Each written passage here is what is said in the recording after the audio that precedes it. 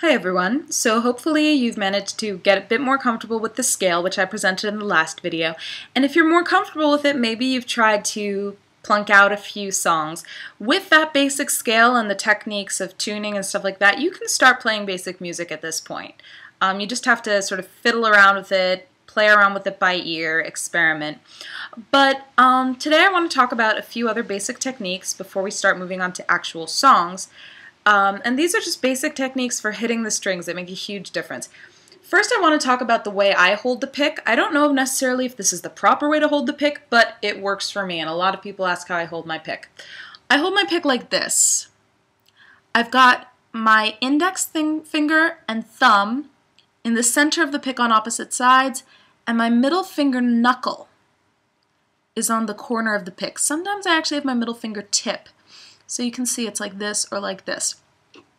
And there's not a lot of tension in my hand. This provides a good deal of strength and support to the pick so it's not going to flop much from side to side, but I can easily pull it right out between those fingers. There's really not much pressure. This stops me from getting a hand cramp, but you have to realize you're not going to be getting a lot of pressure in this direction, only in this direction, so as long as you've braced the pick, you should be fine. But, you know, you can work around finding what style is most comfortable for you, I find that this gives me the most freedom of movement. Next, the most common mistake that's made by people plucking a stringed instrument that I've seen, and I know this was one of my first and many of my students' first, is only striking in one direction. You can strike on both with the mandolin. If you're not comfortable with that yet, try playing some scales where you play each note several times and just do this nice loose wrist pluck in both directions. See how loose that is?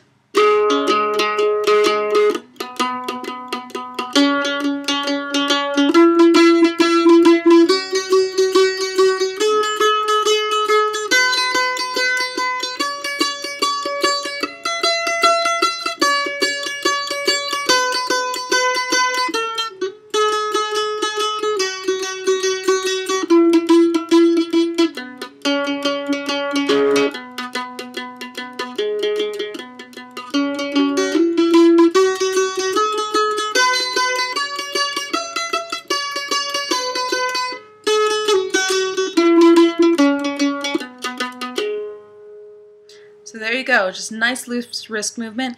And this does make the sound better and it gives you so much more freedom. And I promise that once you start doing it this way, you will never be able to revert to the old way, which is good. You don't want to revert to the old way. Now, another thing that I had a lot of trouble with in the beginning was the fact that you can actually make two notes with one pluck. It's like this. My dad calls it hammering on. I don't know if that's the technical term. I don't know any technical terms. Um, but it's used a lot in Tibetan music. Now, when I started playing, I was plucking the string for every note. So if I played akupema, it sounded kind of like this.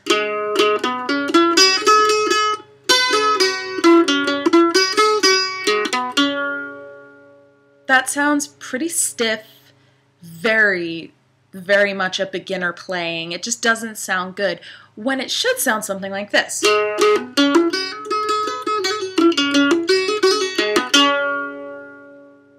The difference is that in that second time I played, I was hitting more than one note with a single pluck. And the way you do that is you just strike the note and you put the tip of your finger down really quickly, really hard on the string.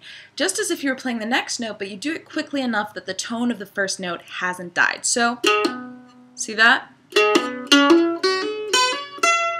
I just played the entire scale, but I only actually hit the strings five times hit, hammer, hit, hammer, hit, hammer, hit, hammer, hit. That was it. Now when you do this, you have to be careful. You have to hit with the tip of your finger, and you have to hit pretty hard. You can see the traces of the strings on the tip of my finger.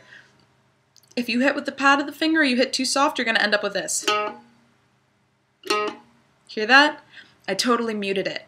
This has much less strength than if you're just striking the string normally because now the sound of the string has to carry through two notes. So you really have to be careful about hitting nice and hard with the tips of your fingers.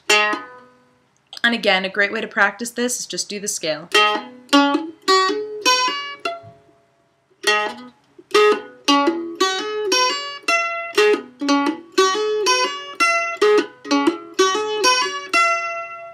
And with most Tibetan music, you will find that easily half the time you've got multiple notes played on the same string, this technique will be used.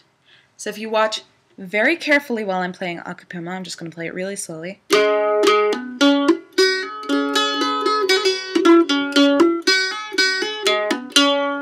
And I'm going to try to emphasize by pulling my hand away between the strings. We'll see how that goes.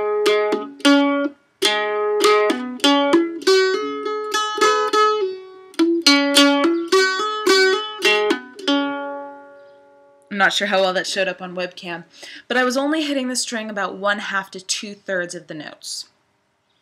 And again, you just want to practice that by playing the scale. Now I also had a trill in there, which is another technique you want to learn. The trill is super easy. It's the same thing as a hammer, except you hit the note just really quickly and then you let go. See what my finger's doing? Tap.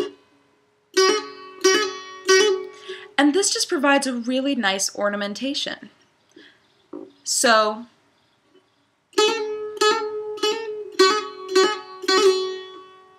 sounds really good. You'll hear that when I do Akapema. I'm just going to do it again. Hear that?